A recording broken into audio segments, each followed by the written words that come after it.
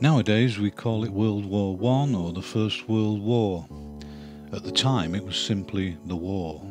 And by the time it was over, the Great War. Whatever we call it, this was the first time war had been waged on a global scale. And although many troops were still on horseback and on foot, it was the first time modern weaponry such as armoured tanks and aeroplanes were used in battle. It was also the first time illustrated propaganda was widely used as a strategic psychological weapon by all the major powers involved in the conflict. The rapid growth and success of advertising across Europe and America in the late 19th and early 20th centuries had demonstrated how effectively illustration could be used to manipulate the masses and it didn't take a particularly big leap of the imagination to apply a similar psychological approach to warfare. When the war began in 1914, thousands of men across Britain volunteered for a fight they thought would be over by Christmas. At the outset, there was no conscription, so propaganda posters were used relentlessly to persuade, cajole, and bully those who weren't quite so keen to fight. Alfred Leete's graphically drab but psychologically effective image of Lord Kitchener's stern face and accusatory finger was plastered on every available wall and impossible to avoid. And there were others applying similar pressure, leaving men with little choice but to fight or face eternal condemnation. This rather stiffly painted poster by Savile Lumley used the innocence of children and the stigma of cowardice to make its none too subtle point.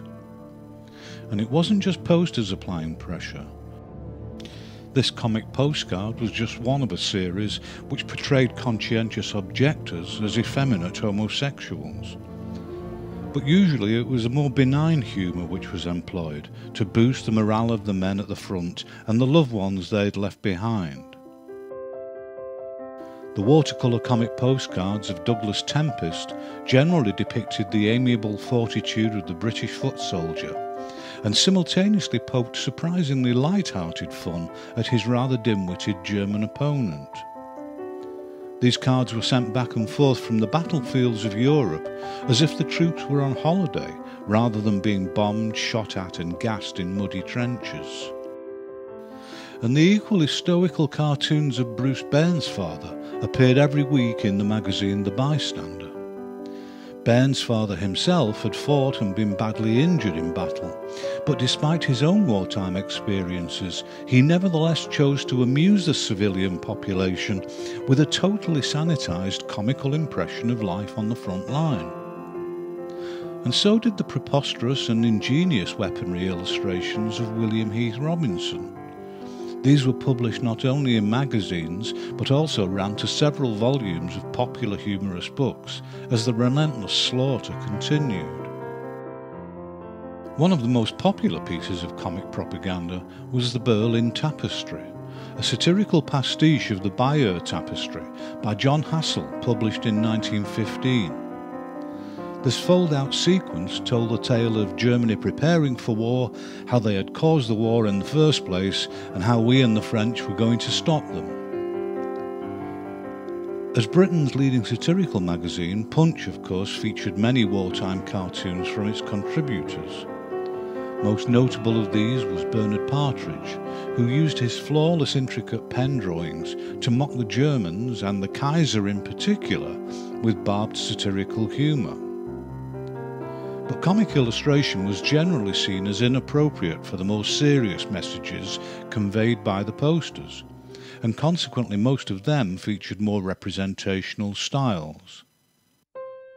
And while many continued to recruit yet more young men to what was proving to be a considerably longer than expected war, others urged the women at home to do all they could to contribute, mostly by doing the jobs left vacant by their husbands and sons. Most of these posters were not only blunt in their message, but were generally undistinguished in technical and aesthetic terms. There was, however, one illustrator in Britain whose work was both technically flawless and an honest visual record. Italian born Fortunino Matania had become a British citizen some years earlier and was now the official war artist for the Sphere magazine. His spectacularly realistic evocations of the war were undoubtedly propaganda in that they told a rather one sided story of British bravery and victories, but they didn't gloss over the bloodshed and misery of the trenches. In this war, our enemies were collectively known as the Central Powers and consisted of Germany, the Austro Hungarian Empire, Bulgaria, and Turkey, then known as the Ottoman Empire.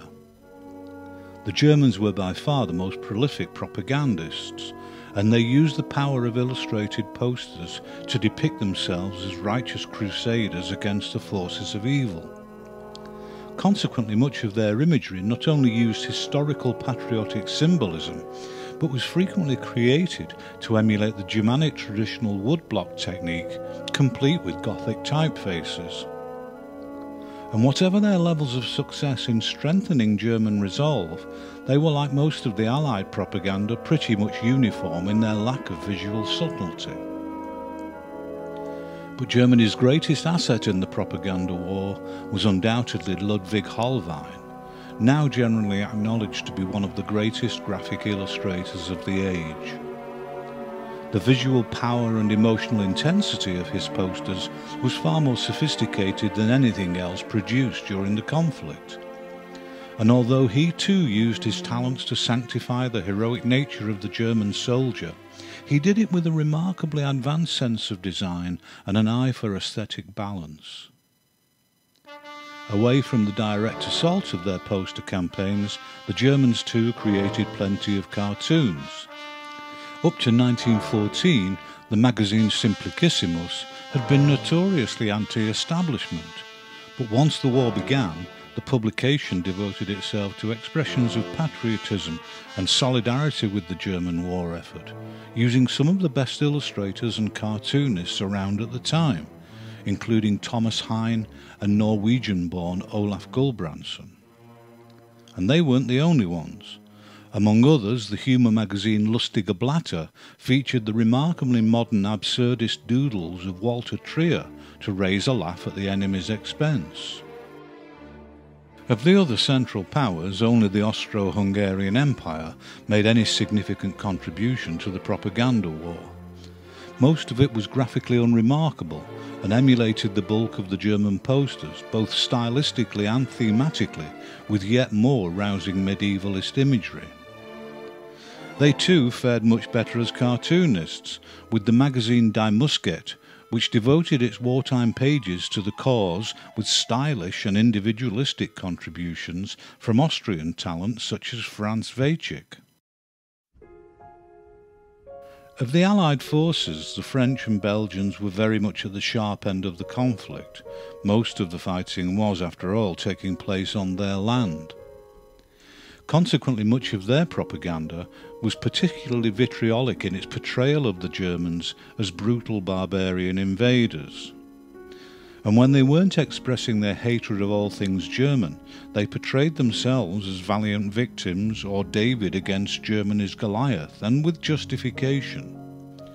Most of their posters tended towards the stylistically traditional, and they generally confine themselves to competent but uninspired representational figure work in support of the patriotic messages. Once again, it was the cartoonists who made the most telling contribution. Le Rire magazine had changed its name to Le Rire Rouge during the war, and they boasted any number of talented comic illustrators who enthusiastically made fun of their enemies, usually personified in merciless depictions of the Kaiser himself. Charles Leandre was perhaps the most prominent among their artists, and his energetic and stylistically complex colour work attacked all things Germanic with particular vitriol and visual imagination. Leandre also contributed to the covers and pages of the wartime magazine La Baïonnette, alongside many others, including the deceptively casual drawn humour of the immensely popular and influential modernist Gus Bofa. Italy fought with the Allies, and like the French, their poster work favoured melodramatic representational painted images. Technically, the quality of the painting varied wildly, and although there were a few which displayed greater than usual skill, the Italians had undoubtedly lost their greatest illustrative asset when Fortunino Matania had emigrated to Britain. But what they did have was the grotesque graphic imagery of surrealist artist and illustrator Alberto Martini, one of the few willing to deal with the horrific realities of the war without compromise. He created a series of disturbing postcards, collectively known as La Danza Macabra, which were distributed across Europe. And in this sequence of visceral images, Martini was particularly critical of the role of the Austro-Hungarian Empire in the conflict. Like the other allies, Russia created propaganda posters in support of their war effort, but most of it was once again fairly functional and of only passing visual interest and in 1917 they withdrew from the war to concentrate on the more pressing matter of the Russian Revolution and the civil war which followed. Luckily, their departure wasn't felt too keenly, as that was the same year the Americans, who had been neutral up to that point, were finally persuaded to throw their weight behind the Allied forces. And in addition to providing much needed manpower and weaponry, America also boasted the talents of some of their most prominent illustrators. Among them was the immensely popular James Montgomery Flagg, who reinvented the austere British Kitchener recruitment poster, now featuring the mythical figure of Uncle Sam posed by Flagg himself. This became a successful mini-campaign and Flagg went on to paint several variations on a theme. The equally celebrated Leyendecker brothers, Joseph and Frank, also made contributions, with some stirring patriotic, if manifestly homoerotic, recruitment posters encouraging young men to join the various armed forces.